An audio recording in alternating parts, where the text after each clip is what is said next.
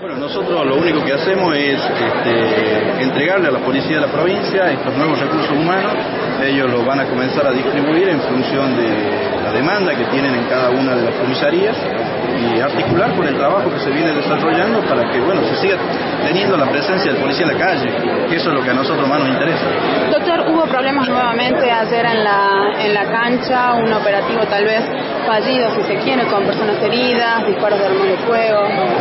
Bueno, mire, la policía es la que se encarga de llevar adelante el tema de todos los operativos de seguridad en materia de, de los espectáculos públicos. ¿sí? Eh, si hay alguna actividad o alguna acción que haga que justamente se piense que el operativo en la cancha estuvo fallida, en este caso eh, en la cancha no pasó nada, fue afuera de la cancha, fue frente del club, eh, se desarrollaron otro tipo de, acciones que tienen que ver con la gente que está vinculada también.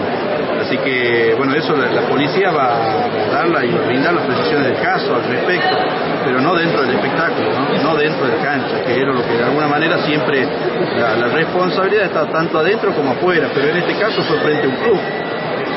¿Qué pasa con los agentes que en diciembre próximo pasado o sea, han ingresado y que todavía no se les ha firmado el decreto para su incorporación? No, los 300 agentes Mire, los 300 agentes que han egresado el año pasado, eso ya están con el decreto firmado, cobrando hace un tiempo esta parte. Los penitenciarios, los 150, están con el decreto firmado y ya están cobrando.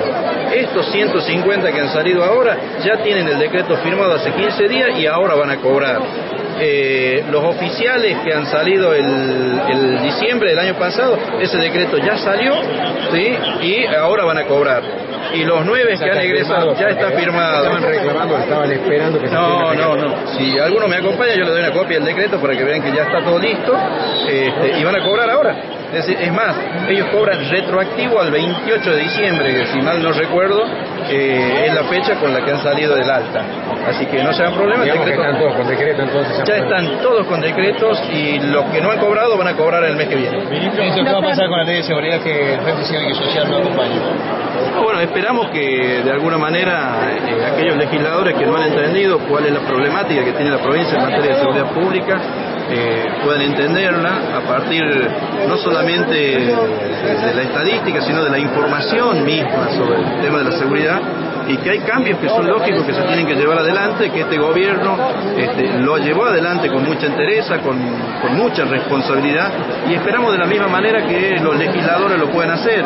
Eh, nosotros nos hemos puesto justamente a disposición de ellos que aquellos que no la entiendan de la manera que nosotros la entendemos y las razones por las cuales hemos llevado adelante esta nueva ley de seguridad democrática, estamos a disposición para poder ir y explicarles, para poder decir cuáles son este, los antecedentes que nosotros hemos reunido, de qué manera hemos trabajado para que poder tener este proyecto, de la misma forma que fuimos a diputados y el trabajo que esos diputados, que fue con todos los sectores para que de alguna manera nadie se sienta aislado de eso, lo podamos seguir haciendo. Así que a los senadores le hemos dicho que estamos a disposición de ellos. ¿Puede ser que el incremento salarial se anuncia antes del 1 de mayo? Así lo dejaron ver los ministros de Salud y de Obras Públicas. Sí, sí, bueno, la idea es que mientras vamos cerrando, vamos anunciando por sector eh, aquellos que tienen un sector y quienes este, forman parte del escalafón general de la administración pública, si se puede cerrar, se va a ir anunciando directamente por cada uno de los de, cada uno de los escalafones.